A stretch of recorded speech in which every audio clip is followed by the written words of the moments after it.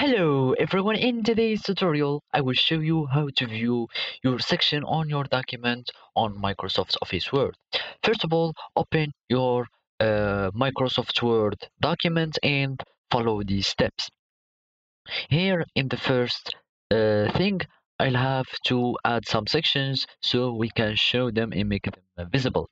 To do so, all I have is to go to the layout and here in the page setup section, as you can see, you will find breaks. Here uh, in the second uh, section or in the second uh, tab of this button, we will find sections. Let's just answer some typical or whatever type of section that we want here. And to make them and to view them and make them uh, visible, all we have to do is to click here on the home tab here and we will go to the paragraph section. Here we will find this button here or this icon. As you can see it is called or it is showing uh, or hidden the invisible character or marks.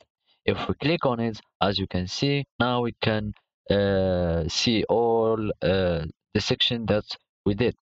Those are the section break of the next page uh, as we did uh, first of all.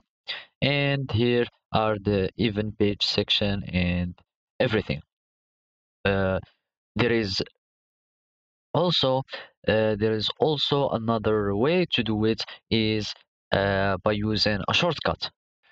The shortcut is uh, clicking on control and uh, on the star uh, number or the star symbol on your keyboard. As you can see uh, this is the shortcut how to use this feature or this option.